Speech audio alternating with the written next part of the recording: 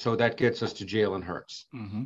So I thought Jalen Hurts was a mixed bag. I actually went back and watched a ton of third down throws and a ton of first down throws. So I saw a lot of Hurts dropbacks.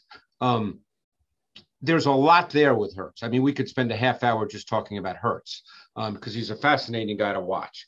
Because there are throws when he does it right where there's a clear rhythm to his game.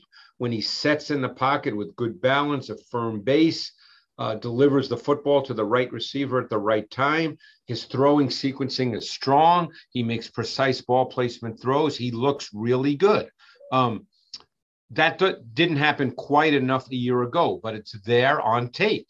And we know that that's being worked on through OTAs and will continue to be worked on through training camp. So it's there. It can be done. Um, but there's also issues. Um, he's not very patient in the pocket. Um, he has a tendency to break down when there's not real pressure by NFL standards. And what starts to happen with quarterbacks that can move is they start to perceive pressure that's not really there. And then you leave throws on the field. Now, because he can run, he might run for 12 yards and people say great play. But ultimately, you don't want to play the quarterback position like that in the NFL. That does not produce consistency over time. Um, he needs some work with his footwork. There were times he would hop into his set in the pocket rather than plant his back foot with a firm foundation, and he would not be on balance.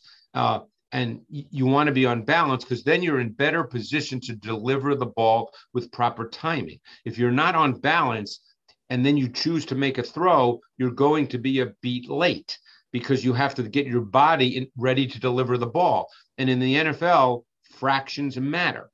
Um, so I, I, think that there was a, there were clear positives when I was watching the tape. I went, "Wow, he does this really, really well." I, would like to see him do that a lot more. Um, and then there were too many others where I felt like he needs some work. Mm-hmm. But it, but to me, it's all this is coachable. This is not stuff where you say, "Oh, it can't happen." And and the one thing that I definitely want to say, because I watched a lot of dropbacks, is there was clear and def- definite improvement in Hurts in the second half of the season.